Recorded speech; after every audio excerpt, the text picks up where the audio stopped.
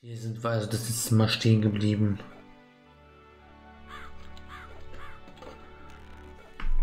Ja, hier kam ich nicht weiter. Dort oben bei dem, dem Gemälde, das konnte ich nicht ablösen.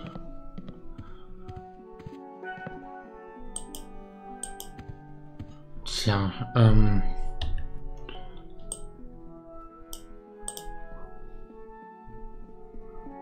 Das würde ich im letzten Part schon ablösen. Hier können wir das irgendwie...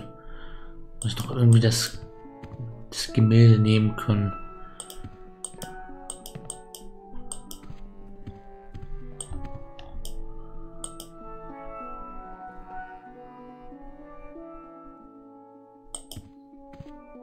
Ich glaube, das wäre nicht an einer Visitenkarte interessiert. Hm. Okay. Wir können das Porträt nicht abnehmen.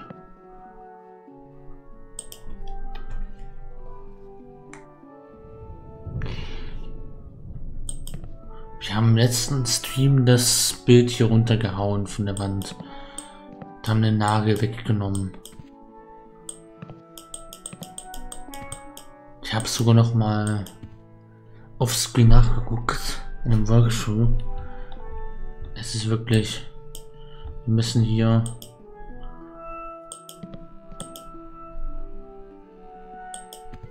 Ich will die Sargnägel damit nicht benutzen. Wir müssen wirklich das Gemälde hier abrupfen. Wenn wir das nicht schaffen, dann sehe ich keinen Weiterkommen. Das müssen wir machen, um hier weiterzukommen. Hm. Tja.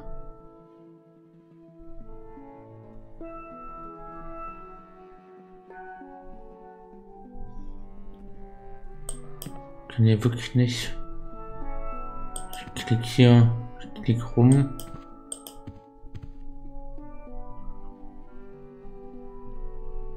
Na komm.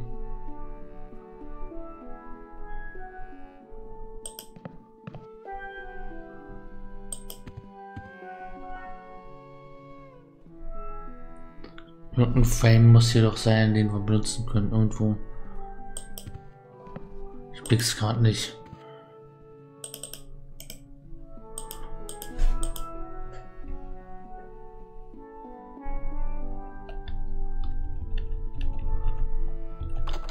Okay, die Tür können wir so benutzen.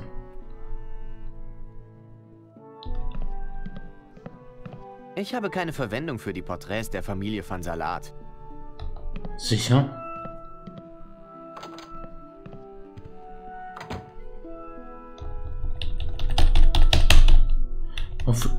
Auf U müssten wir hier, das irgendwo... Es muss doch einen Weg geben, wie wir das mit den Rahmen nehmen können. Wir müssen den Rahmen an die Tür hängen. Ansonsten...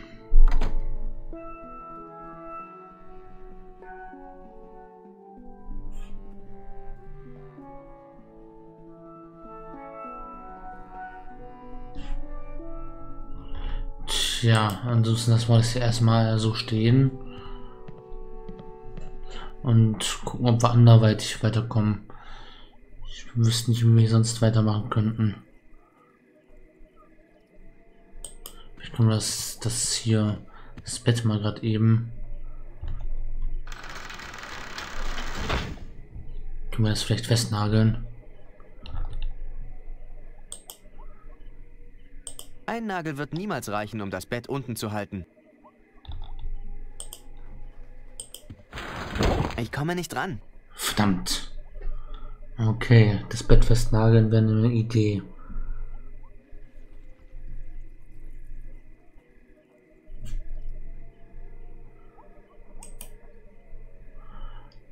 Kleiderschrank.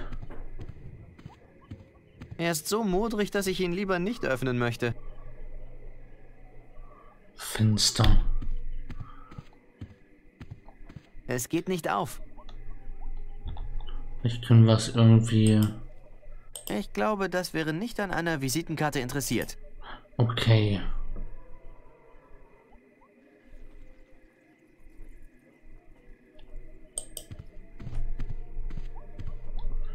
Tja.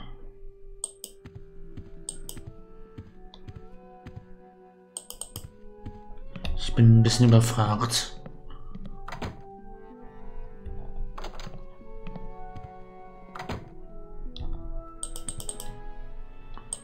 Wir versuchen es mal. Wir gucken mal hier. Wir gucken uns ein bisschen um. Ja. Kühlschrank haben wir da schon reingeguckt. Ich möchte wirklich nicht wissen, was darin ist.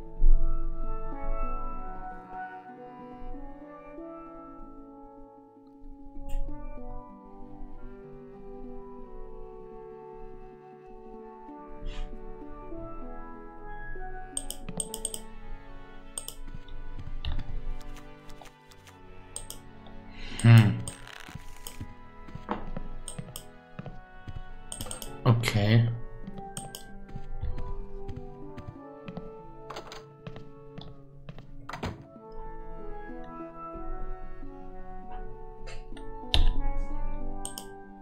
Oh, wir haben ja einen Hammer. Sekunde, können wir doch bestimmt, wenn wir hier einen Hammer drin haben, braucht es vielleicht nur einen Hammer, um die, um das Bett festzunageln.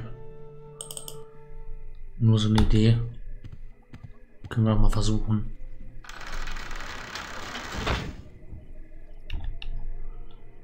So mit Hammern und Nägeln. Ich habe einen Hammer und einen Nagel.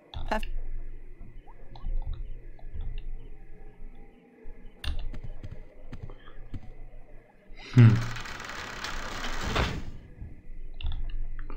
Ein Hammer und ein Nagel. Sekunde. Ich komme nicht dran. So ein Mist.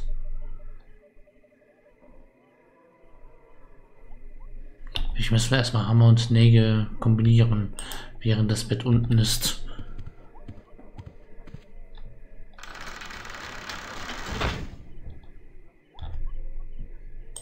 Hammer und Ich habe einen Sargnägel. Hammer und einen Nagel. Perfekt. Sobald ich etwas finde, womit ich das benutzen kann. Ich kann den Hammer nicht damit benutzen. Sicher? Tja, also.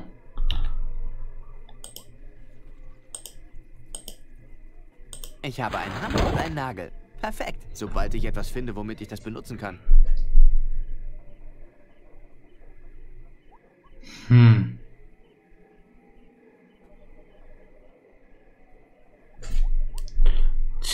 Das, muss doch, das muss, wir müssen, wir haben doch Hammer und Nägel. Sag, sag mir nicht, wir können das nicht. Wir können hier nicht. Ist doch das Bett irgendwie. Wir können mal eine Sache machen, bevor das. Mit Nägeln funktioniert das nicht, mit dem Hammer auch nicht. Und Ich so kann Hammer den mit Hammer Bett. nicht damit benutzen. Ich kann den Hammer nicht damit benutzen. Hm.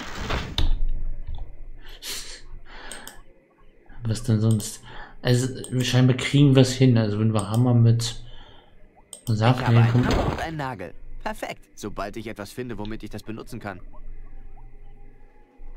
Jetzt können wir theoretisch das Bett hämmern.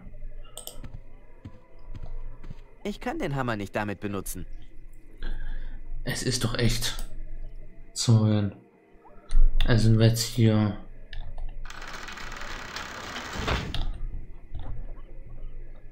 Vielleicht Nägel als erstes. Ach. Auf einmal geht's. Ich bin mir nicht sicher, ob das reicht, um es zu halten. Könnte sein, dass ich einen weiteren Nagel brauche. Zum Glück haben wir noch einen weiteren Nagel. Da, das Bett ist festgenagelt. Das sollte genügen. So, jetzt können wir uns endlich das Bett, ne äh, das, das, das Buch nehmen. Juhu. Wir haben das, wir haben das Buch, die Meistersuppe der Familiengeschichte. Okay. Untersuchen wir mal das Skelett. Iba. Ich wüsste nicht, was ich sagen soll. Nicht mit ihm reden. Ui, ich wette, seine Zimmermiete ist bis heute auf eine gewaltige Summe angewachsen. Die Nägel stecken ganz schön fest drin. Mhm. Nein, Nicht mit den Nägeln reden. Das Klappbett wurde so oft zugeschlagen, dass es ein Loch in die Wand geschlagen hat. Aha. Die Nägel stecken ganz schön fest drin. Vielleicht können wir die mit unserem Meißel herausziehen. Das gibt nicht genug Hebelwirkung, um die Bretter abzustemmen. Okay. Und Kuhfuß haben wir nicht mit dabei. Aber Sekunde, können wir nicht bestimmt, können wir nicht mit dem Meißel. Ne, wir können das gar nicht. So, ähm, der wollte doch irgendwas mit einem Rezept, können wir bestimmt. Sekunde.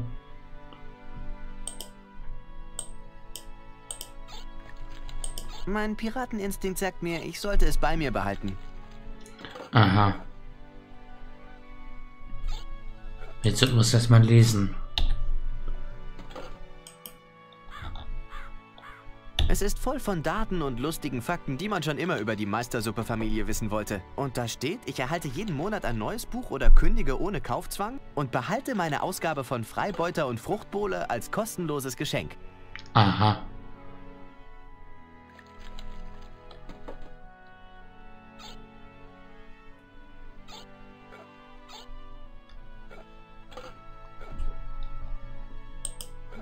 Tja, also. Ich nehme nicht völlig wahllos Barmänner auf den Arm. Da reden wir mit ihm. Ich könnte mich den ganzen Tag über die Geschichte der Meistersuppes unterhalten. Wie war das noch? Mit der ersten schicksalhaften Reise in die Karibik? Oh, Sie meinen die, die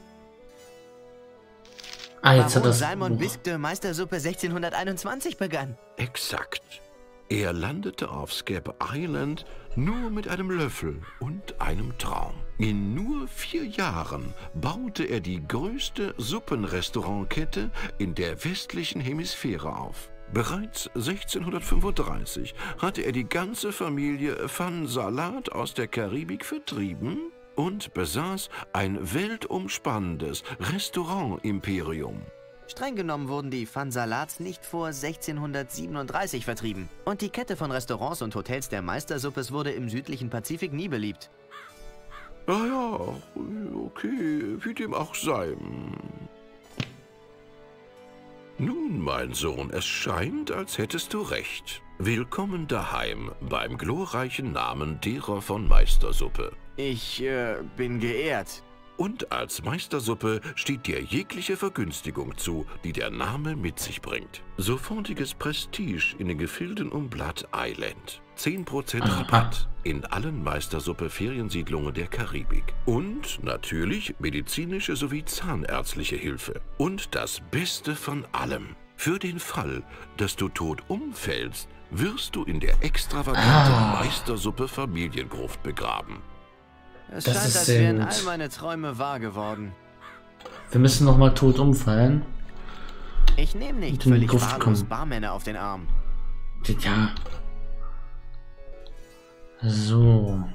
Ein Drink hätte ich gern noch.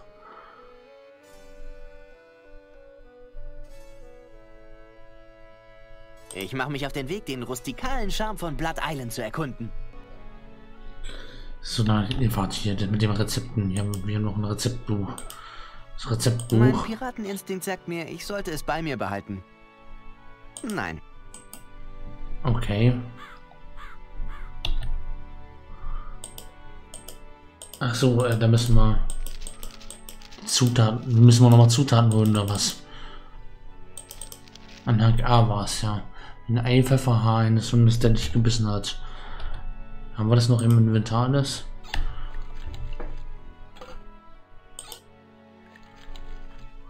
Wahrscheinlich nicht. Hier ist Grog. Verdammt. Autsch! Hier hast du deinen Becher zurück. Mist. Da hätten wir mit. Hätten wir gut mit. Wir haben doch hier. Und was hier haben wir noch? Rübe frei. Rübe frei. Ich habe keinen Kater. Ich fühle mich großartig. War das nicht das, was wir. Ich nehme nicht völlig wahllos Barmänner auf Ja, den ja, reden sollst du. Ich kann einen Ich Drink. möchte einen Drink, bitte. Hier bitte, Junge. Okay, können wir damit, können wir da vielleicht Inventar, das muss da ich rein. Und jetzt trinken bitte.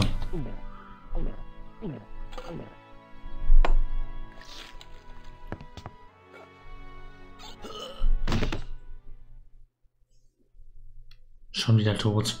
Oh mein Gott, er hatte einen plötzlichen und völlig unerwarteten Rückfall in den Tod. Ah, und das gerade, als wir uns wieder etwas näher kamen. Als sein Blutsverwandter ist es meine Pflicht, ihm ein angemessenes Begräbnis zukommen zu lassen. Ich schwöre feierlich, dass der jugendliche Erasco Meistersuppe in der Familiengruft der Meistersuppes beerdigt werden soll. Alles klar. Sehr schön. In der Familiengruft. Ein brüchiges Loch. Untersuchen wir das als erstes. Hey, da ist ein Loch in der Decke der Gruft. Ich glaube, ich könnte mich da durchquetschen. Oh, Wow, es ist ein Tunnel, der in einen tiefen, dunklen Wald mündet. Es sieht irgendwie vertraut aus. Als ob ich es schon einmal im Traum gesehen hätte. Oder vielleicht ist es...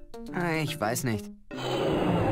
Große, springende Affen. Eine furchterregende Horde fantastisch gerenderter, tollwütiger Jaguare. Sie kommen genau auf mich zu.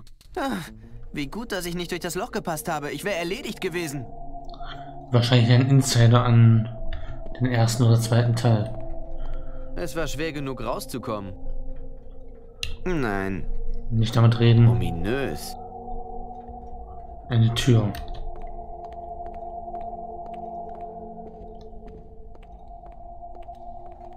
Sie führt zum Friedhof. Okay. Gibt es noch was zu untersuchen? Können wir weitere Grabschändigung betreiben? Uns noch ein Skelett mitnehmen? So. Hoch? Ui. Wer ist denn das? Geisterpaus. Es ist ein Geist im Hochzeitskleid.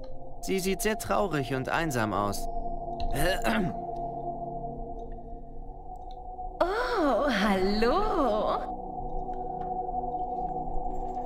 Wer bist du und was machst du hier? Ich bin Mini Meistersuppe. Letzte in einer langen Reihe von Meistersuppe-Debütantinnen. Ich wurde hier exakt eine Woche nach meinem Hochzeitstag beerdigt. Ein Hochzeitstag, der nie kam. Was ist geschehen? Ich war die Inselschönheit von Blood Island. Wie viele Leute können das von sich behaupten? Oh, wie die Jungs mich anhimmelten. Mir wurde von den reichsten und schönsten Männern der Karibik der Hof gemacht. Aber alle Bewerber waren totlangweilig. Ich wollte einen gefährlichen. Ich wollte einen Piraten. Sag mal, wie verdienst du eigentlich dein Geld? Fußbodeninspektor. Oh, dann eines Tages segelte ein richtiger Pirat mit seinem Schiff in die Bucht. Ich wurde sofort schwach und wir verlobten uns. Aber vor dem Altar hat er mich stehen lassen und ich starb an gebrochenem Herzen. Puh, das ist hart. Ich weiß. Aha. Gab es auch andere Bewerber, die du attraktiv gefunden hast? Nun, da gab es einen, bei dem hätte ich schwach werden können. Der junge Charles de Goulache. Er hatte solch ein strahlendes Lächeln. Hübsche Namen Was geschah mit ihm? Ist schon komisch. Ich habe keine Ahnung. Eines Abends stieg er im Hotel ab und ich sah ihn nie wieder.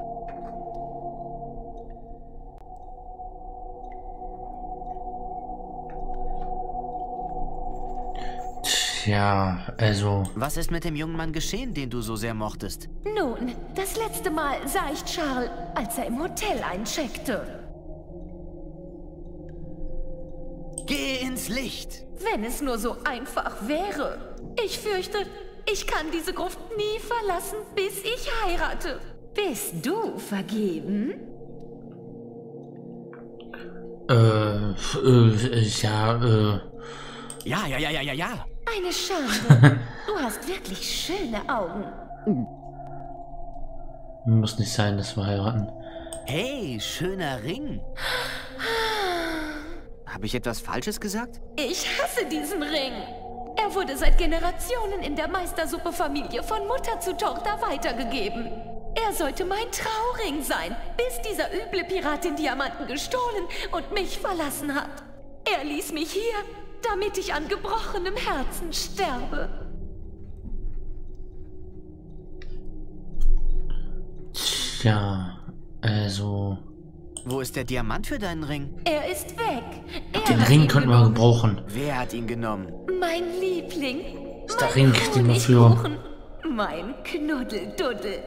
Mein LeChuck. Ah, verdammt. Chuck ist dein Knuddelduddel? Er brach den Diamanten während der Totenfeier aus seiner Fassung. Ach, was war ich nur für ein Dummkopf. Er sagte mir, er wolle kurz hinausgehen, ein wenig frische Luft schnappen.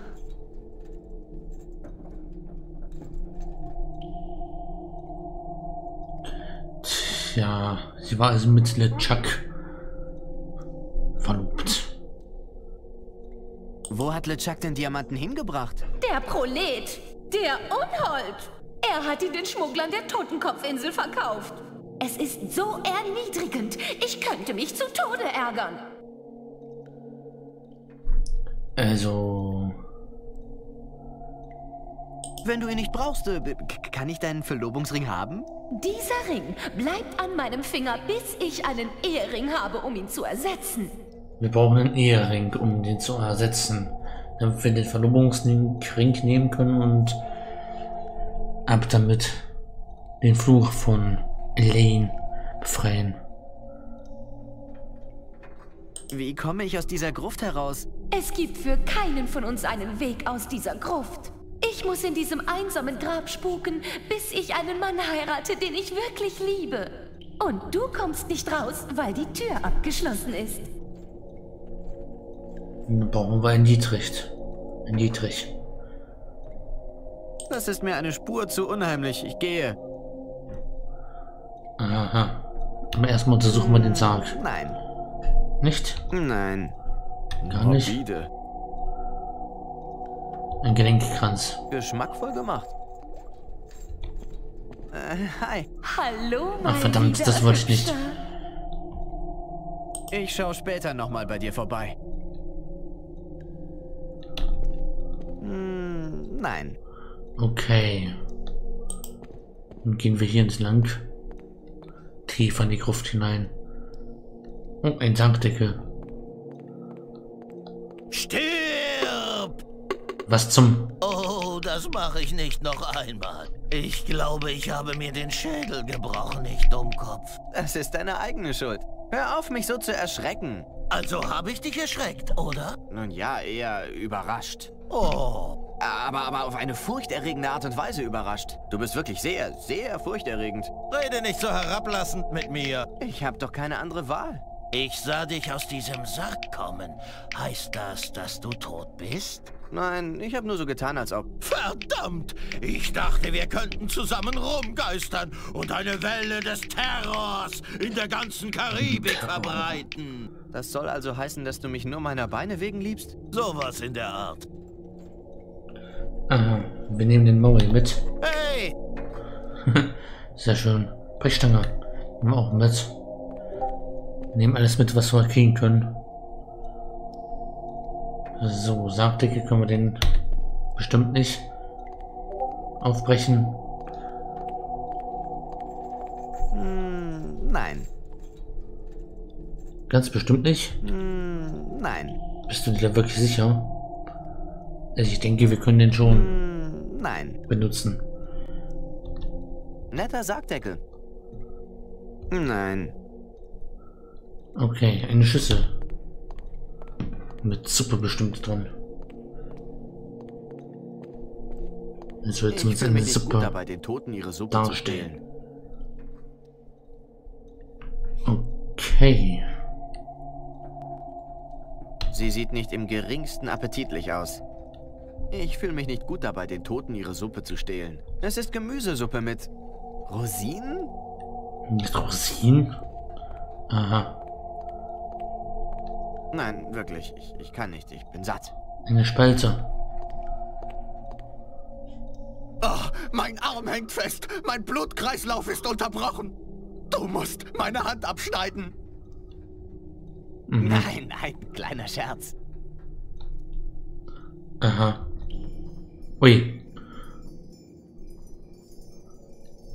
Hm, Mord. nein. Hey, Mister! Hilfe! Was? Da? Wer hat das gesagt? Wer erschreckt hier Mord, den alten Totengräber? Da hat es ein schreckliches Missverständnis gegeben. Ich wurde lebendig in die Meistersuppegruft eingesperrt. In Ordnung. Dieser Scherz ging weit genug. Ihr Kinder solltet euch was schämen. Es ist kein Scherz, ich bin hier wirklich eingeschlossen. Ihr verrückten, langhaarigen Belger mit eurer Barockmusik. Habt mich einmal reingelegt, schämt euch. Ein zweites Mal und ich müsste mich Was? schämen. Das ist kein fauler Trick. Ich bin wirklich in dieser Gruft eingeschlossen. Ich habe eine spezielle Mixtur getrunken, die mich in ein Koma fallen ließ. Als man dachte, ich sei tot, hat man mich in diese Gruft gebracht. Ja, das stimmt. Das haben sie im Roman Tausch nie dein Essen mit einer Leiche gemacht. Wenn ihr Kinder euch mal was Originelleres einfallen lassen würdet, könnte ich euch vielleicht glauben. Verdammt. Komm und sieh durch den Spalt. Oh, sicher. Ich drehe der Tür den Rücken zu und ihr diebischen kleinen Ganoven schleicht euch von hinten an mich und fesselt mich. Ich habe alles über eure unheimlichen Tricks in meinen Horrorromanen gelesen. Also nichts da. Verdammt, du hast meine Täuschung durchschaut. Ich bin kein gewöhnlicher in einer Gruft gefangener Mann. Nun, was bist du denn dann? Mein Überlichtgeschwindigkeitsschiff ist in einer Subraumanomalie gefangen. Du hast kein Schiff. Jeder echte Überlichtgeschwindigkeitsreisende wüsste, dass die Umkehrung der Polarität eines Ionenflussfeldes in einer sich expandierenden Tachyonenwelle Na, resultiert, sicher. die wiederum eine Neutrinospur hinterlassen würde, der man aus der Anomalie folgen könnte. Was ich sagen wollte war... Ich bin auf der Suche nach den goldenen Stäben von Keton, um Frieden ins Reich zu bringen. Trägst du das Mal des Tyx Blick, des Auserwählten, den die Schriftrollen des dritten Schatten prophezeien? Ich hatte gehofft, du würdest das nicht fragen. Was ich sagen wollte war... Ich bin ein wütender und verwirrter Geist, welcher in dieser Gruft spukt. Dann mach, dass du vor mir erscheinst. Äh, Wie bitte? Wenn du ein echter Geist wärst, könntest du dich in einer geistartigen Form materialisieren. Steht alles in den Büchern. Na sicher. Hm, dann lass mal sehen. Ist der unheilvolle Klang meiner körperlosen Stimme nicht Beweis genug? Anscheinend nicht. Boah, erzittere vor Furcht. Ich bin ein böser Geist. Dann zeige mir deine grässliche Fratze. Geht nicht, ich bin so schüchtern. Du bist kein Geist. Ich werde dich heimsuchen, bis du mich freilässt. Dann zeige mir deine grässliche Fratze. Jetzt gerade nicht. Du bist kein Geist. Du musst Horrorromane ja lieben angesichts dieser Sammlung. Geschichten aus dem Reich der Toten zu lesen, hilft mir, mich von meiner Arbeit abzulenken. Warum verschwendest du dein Geld für solch einen Schund? Wenigstens benötigt mein mieser Schund keine Tausende von Mark Hardware. Das sehe ich ein. Lass mich aus dieser Gruft heraus! Diesmal falle ich auf eure Tricks nicht herein. Lasst mich einfach in Ruhe meine Horrorromane lesen. Ich werde jetzt im Dunkeln schmollen. Viel Spaß noch. Tja, also die Laterne. Ich komme nicht dran. Verdammt. Ich komme nicht dran. Verdammt. Nein. Es ist eine glühende Laterne. Es sieht aus, als schreibt er an einem Horrorroman. Er heißt Der Grog der Leute trank. Teil 1 eines dreiteiligen Zyklus. Ich frage mich, warum Schund immer in drei Teilen erscheint. Tja, Unheimlich. ein Werwolf. Ich komme nicht dran. Nein. Es ist entweder ein toter Papagei oder eine sehr seltsame Fledermaus. Ich komme nicht dran. Wo kommst du denn überhaupt dran? Das ist das Zeug, aus dem richtig langweilige Träume sind. Tja, eine Maske. Sieht aus wie eine Halloween-Maske. Eine der Chuck-Maske. Es ist ein Haufen blöder Horrorgeschichten. Eklig und grässlich zugleich. Das muss der Totengräber sein. Es ist ein Dinosaurier aus Die Monster, um die sich die Zeit einen Dreck scherte. Ja, interessante Titel. Es ist ein Poster für irgendein albernes Buch über untote Piraten. Okay. Haben wir noch was Es ist ein Interessantes? Poster von Vampir 12, die große Sauge. Es ist das Poster für ein richtig mieses Monsterbuch. Glaub mir, das wird sich nie verkaufen. Moby Dick. Ja, sehr schön. Okay, wir haben noch einen Skelettarm. Vielleicht können wir... Ich habe sie. Hey, was ist mit dem Licht passiert? Juhu. Wir haben eine Laterne. Was auch immer wir damit anfangen können. Können wir uns auch noch was anderes holen? Spalte untersuchen. Nehmen noch ein bisschen was anderes mit. Beim ersten Mal war es witzig. Verdammt.